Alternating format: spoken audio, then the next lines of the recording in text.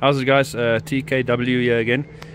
Just wanna, I was very excited to find this out um, because I, I need all the boot space in the boot for all the kids stuff.